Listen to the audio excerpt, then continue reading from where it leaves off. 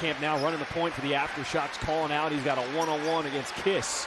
Setting him up. Uh-oh.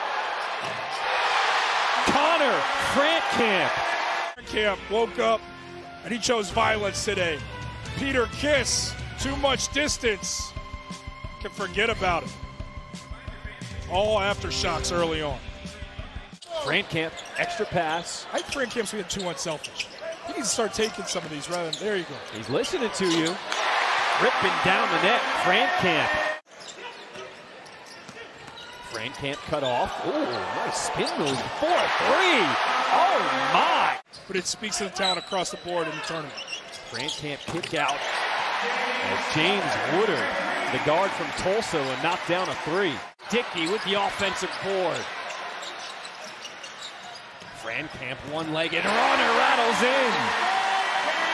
Camp's got 14 on the night now. As we approach the under four-minute stop for the Elam ending. Smith broken up by Camp. Warren's going to D up Camp. Camp got by him.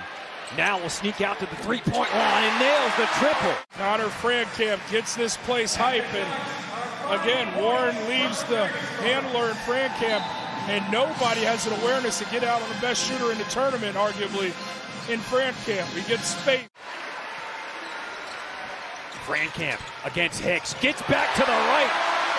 Aftershocks. Three points away from winning. No, as the game trends towards the end. Here in the Elam ending, Camp grows stronger. The closeout, finishes in traffic.